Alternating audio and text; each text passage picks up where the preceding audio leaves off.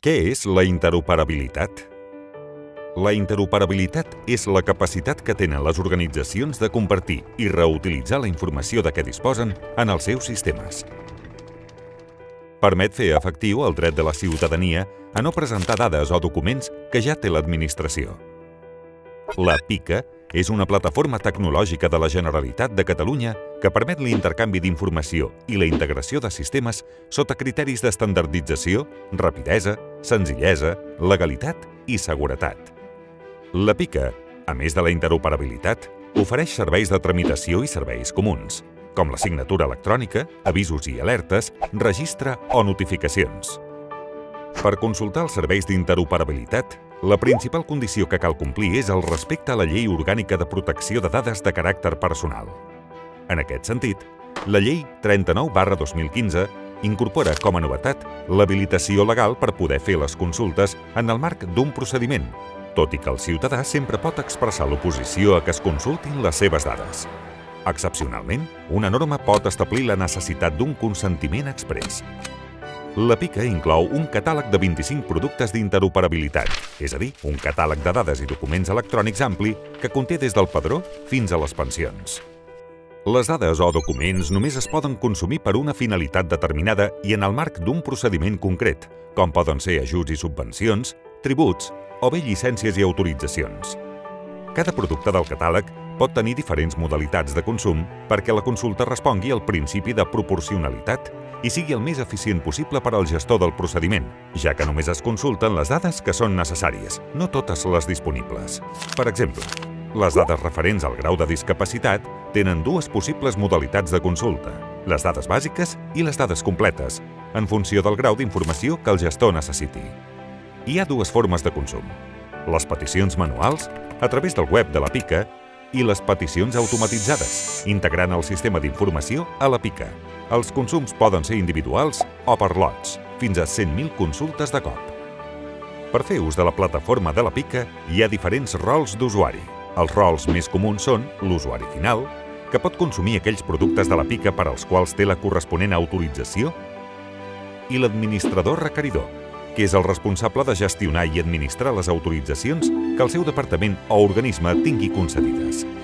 Pot demanar autoritzacions, crear grups d'usuaris i assignar-hi autoritzacions i gestionar aquests grups i usuaris.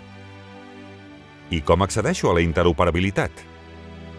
Per poder fer ús de la interoperabilitat, cal prèviament estar donat d'alta al GICAR, és a dir, tenir contrasenyes d'ATRI. Tot i això, per consumir els productes és necessària una autorització especial. Accedim a la PICA a través de la seva URL i a continuació introduïm l'identificador i la contrasenya d'Atri, o bé també hi podem entrar amb el certificat digital. Un cop validat l'usuari, accedim a la pantalla principal. A la part central trobem l'apartat d'avisos, on es mostra una llista amb les alertes que ha rebut l'usuari a partir de les seves subscripcions a productes i també la secció on s'informa de les novetats referents a la plataforma. A la banda esquerra de la pantalla hi ha el menú lateral d'accessos directes a diferents opcions del portal.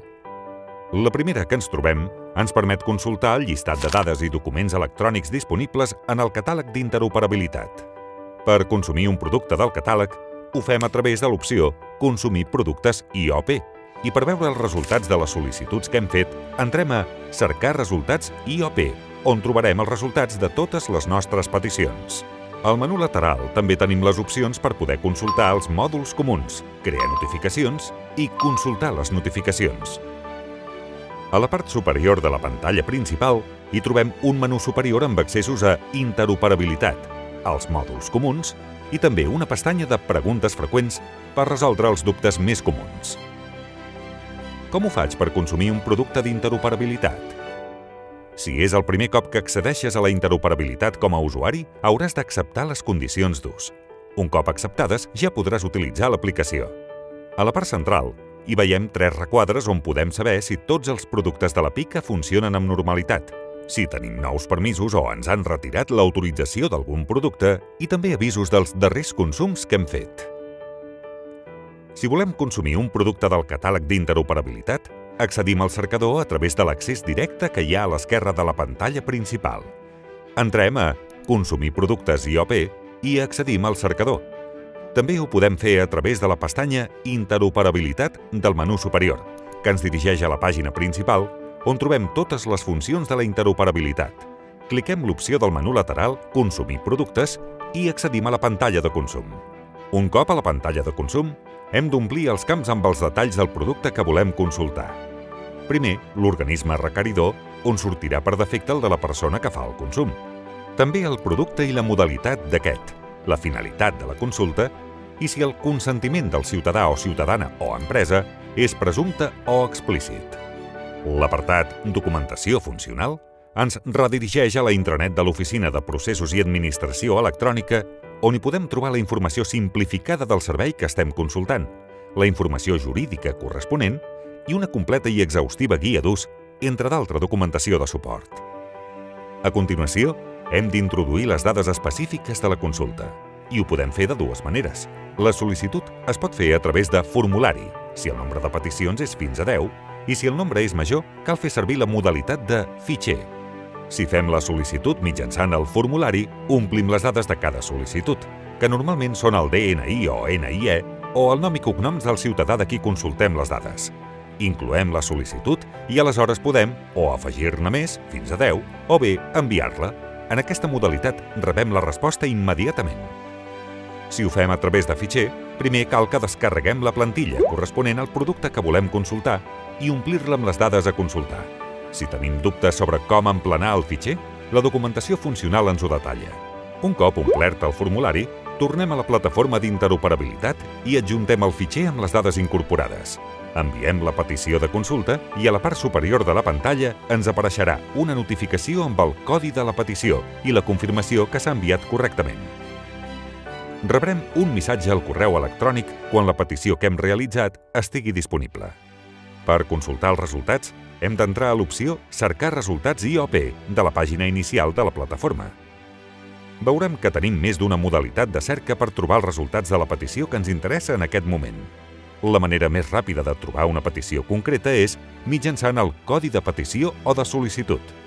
Però també la podem buscar en funció de l'òrgan requeridor, de les dates de petició o de resposta, o utilitzant altres filtres.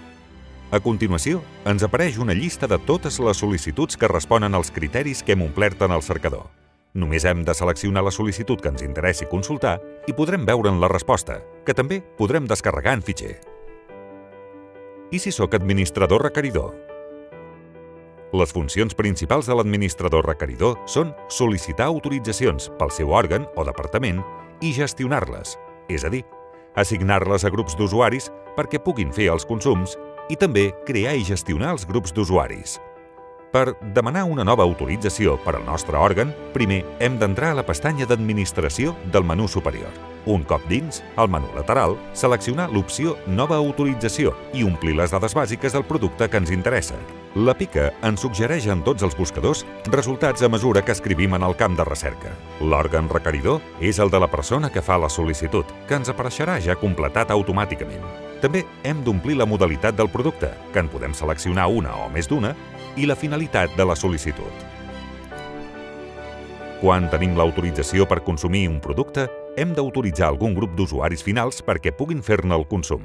Anem a la pestanya Grups del menú lateral i ens apareixen els grups que gestionem com a administrador requeridor.